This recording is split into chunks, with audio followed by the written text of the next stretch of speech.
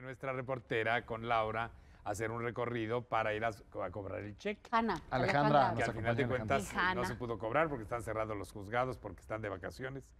Pero bueno, una odisea, todo lo que pasó. Hasta muy divertida. le tuvieron que dar. Porque su coche se descompuso. Vaya aventura la que vivimos la tarde de este martes con nuestra querida Laura Zapata. Y es que tras encontrarla a las afueras de las oficinas del SAT en Reforma, nos pidió le diéramos un ride a los juzgados familiares, donde tenía que recoger un cheque y aunque se nos atravesó una manifestación, eso no nos impidió llegar. Ya en el lugar, se percató de que las instalaciones estaban cerradas por el periodo vacacional. sería hasta el 2, el lunes 2.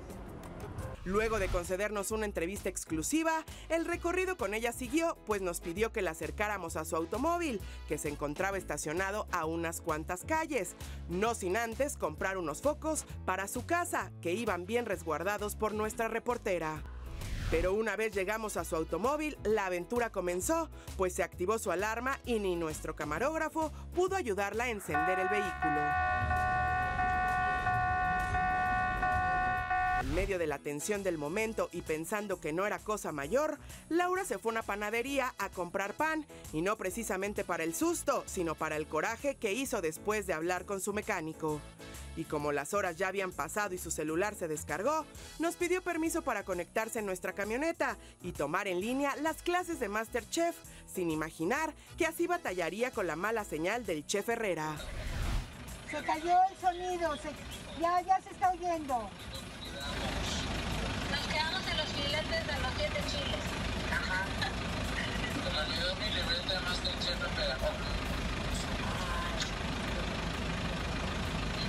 Por favor, continúen. Por favor, silencio, por favor, continuemos la clase. Yo estoy en la calle, please. Por favor, no hagamos chistes, vamos a escuchar la clase. Yo estoy a media calle.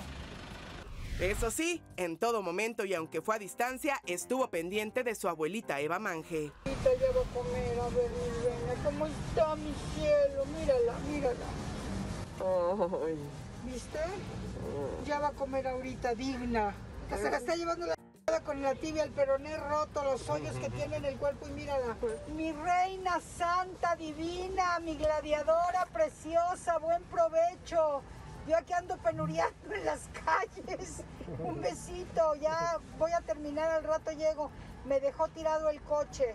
Luego de checar a su abuelita, Laura se endulzó el momento comprando higos a un vendedor de fruta.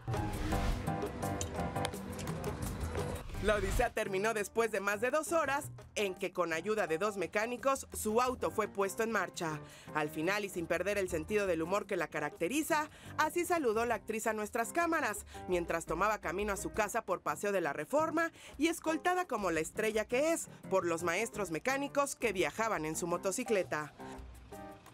Bien lo dijo Laura mientras esperábamos a que las cosas se arreglaran. Esta es la verdadera vida del artista.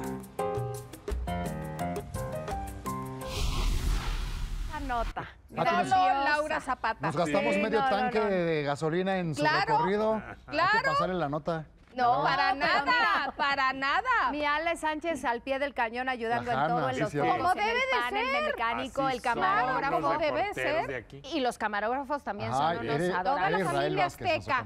Apoyando a Laura Zapata. Sabes que nunca dejamos de pensar en ti. El ventaneo nunca termina. Suscríbete a nuestro canal de YouTube. Ahí encontrarás nuestros programas del día.